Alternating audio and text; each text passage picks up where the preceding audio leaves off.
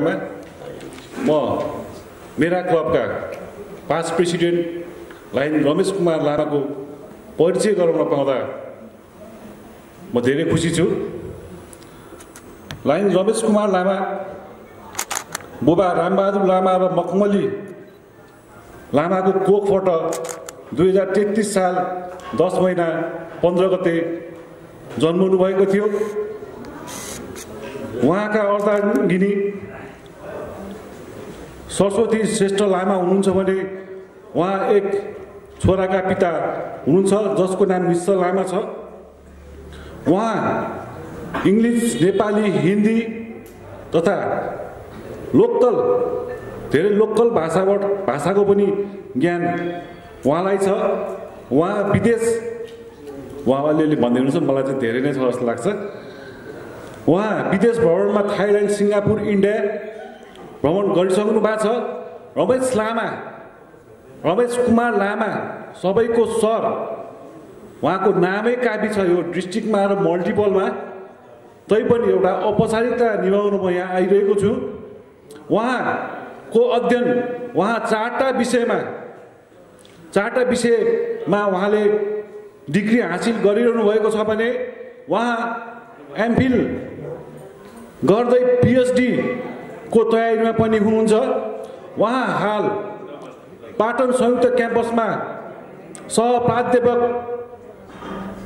रूपमा काम गर्दै हुनुहुन्छ। उहाँ क्लब लेभलमा सुरुका दिनदेखि क्लब क्लब स्थापना भएको दिनदेखि आजको दिनसम्म उहाँ अति नै सक्रिय हुनुहुन्छ। डिस्ट्रिक्ट लेभलमा पनि जोन जोन चेयरपर्सनबाट सुरुवाती गर्दै आज हाल डाइनेस्टिक इयर एक्काइस बाइसमा डिस्ट्रिक्ट तिन सय पच्चिस उहाँका जिएससी डिस्ट्रिक्ट कोअर्डिनेटर पनि हुनुहुन्छ। उहाँ डिस्ट्रिक्टको सबै कन्भेन्सन एटेन्ड गरिसक्नु भएको छ। इसामी फोरम लगायत इन्टरनेसनल कन्भेन्सन पनि उहाँले एटेन्ड गरिसक्नु भएको छ। दुई हजार पाँचमा स्थापित Lions club of Kathmandu rising सङ्घका संस्थापक सदस्य संस्थापक सदस्य पूर्व अध्यक्ष तथा हाल डिस्ट्रिक्ट तिन सय पच्चिस एवानका G GST district coordinator lion Ramesh Kumar Lama एमजिएफज्यूलाई म क्लबको प्रेसिडेन्टको तर्फबाट यहाँ प्रस्तुत गर्दछु लाइन रमेश कुमार लामा आज सँगै मनोनयन पत्र चाहिँ हामी दाखिला गर्ने क्रममा चाहिँ रहेका हामी तिनजना उम्मेदवार छौँ र आदरणीय दुईजना दाजुहरूलाई पनि म यहाँ सम्बोधन गर्न चाहन्छु। आदरणीय पिएमसिसी तथा हाम्रो जिएटी एरिया लिडर दाजु सर तल बसिरहनु भएको छ मैले त्यसलाई अलिकति मैले करेक्सन गरेँ।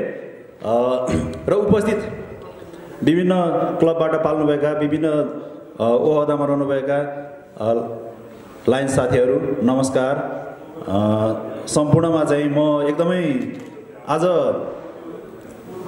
यो नोमिनेसनको चाहिँ अवसरमा मैले तपाईँहरूलाई एउटा धन्यवाद दिने एउटा शब्द पनि छैन मैले भेटिरहेको छैन। एकदमै मेरो होम क्लबप्रति म यति नतमस्तक छु। मेरो होम क्लब सँगसँगै साथमा साथ दिने अरू क्लबहरू हुनुहुन्छ काठमाडौँ गोकर्णेश्वर काठमाडौँ जोरपाटी लगायत यस काठमाडौँ उत्तर पूर्व हामी जसलाई उत्तर पूर्व भन्छौँ अहिले डीको चाहिँ क्षेत्र छ। यो क्षेत्रमा रहेका सम्पूर्ण क्लबहरूले चाहिँ एउटा साझा सहमति तयार गरेर तपाईँहरूले चाहिँ नेतृत्वमा चाहिँ दाबी गर्नुपर्छ भनेर चाहिँ उहाँहरूले हामीलाई घचघचाएर चाहिँ पठाइरहनु भएको छ। उहाँहरूप्रति चाहिँ मेरो एकदमै श्रद्धापूर्वकमा नतमस्तक हुन नतमस्तक छु म। उहाँहरूप्रति सम्मान व्यक्त गर्न चाहन्छु। आज हाम्रो यो गरिमामय कार्यक्रमलाई पूर्वबाट भनौँ न हाम्रो नोमिनेसन कमिटीका चेयरपर्सन आदरणीय आइपिएमसिसी हाम्रो राजन खत्री सर हुनुहुन्थ्यो। उहाँले पूर्वबाट चाहिँ समय दिएर चाहिँ आउनुभयो। त्यस्तै त्यही कमिटीका सदस्य हाम्रो खेमदाई खेमराज नेपाल दाजु उदय भण्डारी दाजु नितम चौहानजीलाई पनि म आफैले पनि फोन गरेको थिएँ।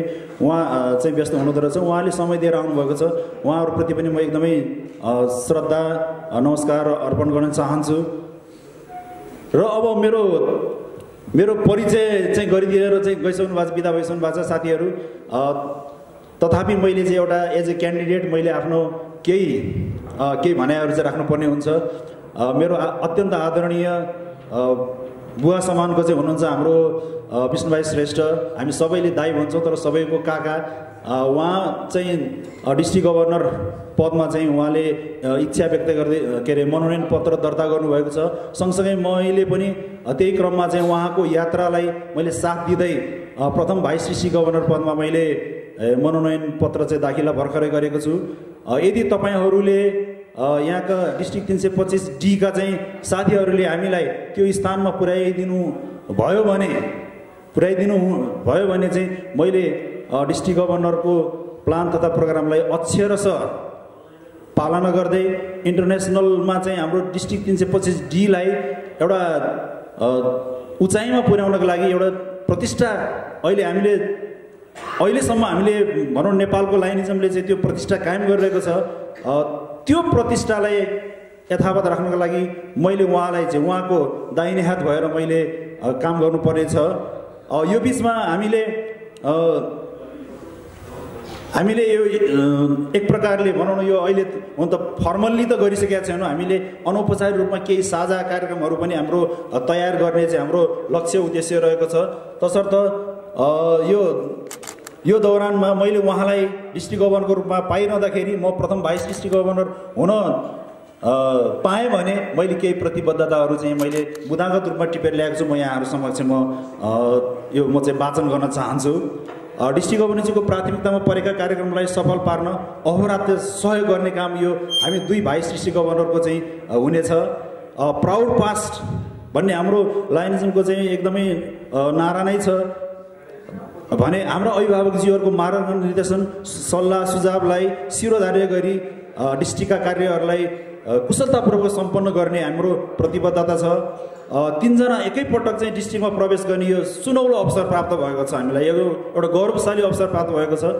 तसर्थ अघि हाम्रो आदरणीय सुरेन्द्र दाजुले चाहिँ म चाहिँ एकैचोटि गभर्नर बन्ने होइन भनेर चाहिँ भन्नुभयो। तर म चाहिँ के भन्छु भन्दाखेरि अहिले एकैपटक हामी तिनजना गभर्नर बन्दैछौँ। हाम्रो आदरणीय विष्णुभाइ सरलाई चाहिँ हामीले सहयोग गर्नुपर्छ तर हामी तिनजना एकैपल्ट प्रवेश गर्न गर्दैछौँ भने यो तिन वर्ष कम्तीमा तिन वर्षको चाहिँ साझा कार्यक्रमहरू बनाएर त्यो साझा कार्यक्रम अनुसारको चाहिँ हामीले योजना तर्जुमा तर्जुमा गरेर कार्यान्वयन गर्नको लागि चाहिँ हामीले डिस्ट्रिक्ट गभर्नरलाई चाहिँ हामीले सफल पार्नको लागि चाहिँ हाम्रो प्रतिबद्धता रहनेछ। हाम्रो लायन्समा Nepal Lions foundation disaster fund लगायत धेरै फन्डहरू छन्। ती फन्डहरूलाई फन्डहरूमा चाहिँ रकम वृद्धि गर्नको लागि डिस्ट्रिक्ट गभर्नेन्सीको चाहिँ सारथीको रूपमा हामीले त्यसलाई चाहिँ प्रयत्न गर्नेछौँ। त्यस्तै सम्पूर्ण क्लबहरू लायन्स साथीहरूको सुझाव अनुसार रचनात्मक कार्यक्रमहरूलाई चाहिँ प्राथमिक प्राथमिकीकरण गरेर कार्य सम्पादन गर्ने कोही पनि साथीले चाहिँ यो भनौँ न आफू डिस्ट्रिक्टबाट चाहिँ हेपिएको पेलिएको महसुस चाहिँ गर्नु हुने छैन भन्ने चाहिँ म प्रतिबद्धता पनि जानी जानकारी के अरे प्रतिबद्धता व्यक्त गर्न चाहन्छु। अघि हाम्रो के अरे आइपिएमसिसी सरले भन्नुभएको छ एलसिआइएफबाट चाहिँ कमसेकम यो पन्ध्रवटा डिस्ट्रिक्ट भइरहँदाखेरि यहाँ स्ट्यान्डर्ड ग्रान्डको रूपमा चाहिँ प्रत्येक डिस्ट्रिक्टलाई दुई लाख डलर चाहिँ आउने चाहिँ आउँछ भने त्यति मात्र नभइकन अरू साना साना प्रोजेक्टहरू पनि हामी ल्याउन सक्छौँ भने एलसिआइएबाट त्यस्ता प्रोजेक्टलाई अधिकतम ल्याउनको लागि हामी साथमा साथ लिएर चाहिँ हामीले डिस्ट्रिक्ट गभर्नरलाई हर तरहले हामीले सहयोग गर्नेछौँ। लायन्स क्लबको मूल मूल मर्म नै उही सर्भ छ भने हामीले कम्युनिटीको निडको आधारमा हामीले सेवाका अधिकतम कामहरू चाहिँ गर्नेमा चाहिँ हामी प्रतिबद्धता चाहिँ जाहेर गर्दछौँ। अहिले अहिले पनि हाम्रो डिस्ट्रिक्ट हेर्ने हो भने तिन सय पच्चिस ए वान इन्टरनेसनलमै पनि हेर्ने हो भने म आदरणीय गभर्नर साहबसँग चाहिँ एउटा गर्वका साथ म सेयर गर्न चाहन्छु।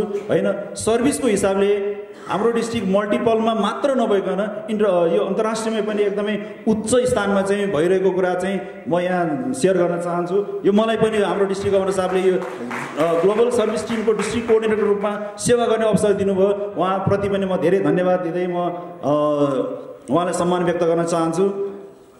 त्यस्तै गरी मेम्बरसिप ग्रोथका कुराहरू हाम्रो लायन्स क्लबको चाहिँ निरन्तर प्रक्रिया छन्। निरन्तर कार्यक्रम चाहिँ रहिरहनेछ भने सम्भाव्यता सम्भाव्य क्षेत्रहरू पहिचान गरेर हामी मोटिभेसनल प्रोग्रामहरू लायन्समा चाहिँ मोर ह्यान्ड मोर सर्भिसको अवधारणालाई हामी अगाडि बढा बढेर चाहिँ हामी कार्यक्रमहरू गर्नेछौँ डिजीलाई सहयोग गर्नेछौँ। त्यस्तै लिडरसिप डेभलपमेन्टको लागि पनि स्थानीय स्तरमा हामीले अन्तर्राष्ट्रिय स्तरमा तालिम लिनको लागि चाहिँ फ्याकल्टी डेभलपमेन्टलाई दुबई जानुपर्ने इन्डिया जानुपर्ने विभिन्न ठाउँमा जानुपर्ने त्यसको लागि चाहिँ विभिन्न बाधा व्यवधानहरू बढी खर्च लाग्ने अवस्थाहरू छँदैछ। स्थानीय स्तरमा यस्ता लिडरसिपका कार्यक्रमहरू चाहिँ सञ्चालन गर्नको लागि डिस्ट्रिक्ट गभर्नर साहबलाई चाहिँ हामीले एकदमै दाहिने हात भनेर चाहिँ धेरैभन्दा धेरै लिडर उत्पादन गर्नको लागि चाहिँ हाम्रो योगदान रहनेछ भन्दै सम्पूर्ण साथीहरूलाई आज मलाई एउटा भनौँ न यो काठमाडौँको उत्तरी कुनामा चाहिँ जन्मेर एउटा कखरा पढ्दै गएर चाहिँ आज भनौँ न यो आफ्नो यो पेसा व्यवसायमा चाहिँ बिस्तारै चाहिँ घस्रिँदै गरेको व्यक्तिलाई चाहिँ आज यो योग्य सम्झेर मेरो क्लबले चाहिँ यो स्थानसम्म चाहिँ ल्याइरहेको छ यो यो क्षेत्रका क्लबहरूले चाहिँ ल्याइरहेको छ भने सम्पूर्ण यो क्षेत्रका क्लबहरू मात्र नभएर डिस्ट्रिक्टभरिका सम्पूर्ण क्लबहरू जोसँग जुन डिस्ट्रिक्टका सदस्य के अरे सम्पूर्ण क्लबका साथीहरूलाई प्राय म चिन्दछु प्राय साथीहरूले मलाई चिन्नुहुन्छ उहाँहरूको भावनालाई चाहिँ एकदमै कदर गर्दै आगामी दिनहरूमा उहाँहरूको मार्गनिर्देशन सुझाव सल्लाह अनुसार नै म आफ्नो कार्यक्रमहरू चाहिँ अगाडि बढाउँदै जानेछु भन्ने प्रतिबद्धता व्यक्त गर्दै सम्पूर्ण साथीहरूलाई धन्यवाद। हृदयदेखि धेरै धेरै धन्यवाद। भन्दै मेरा भनाइ यहाँ अन्त्य गर्दछु। धन्यवाद। जय लायन बहादुर नमस्कार।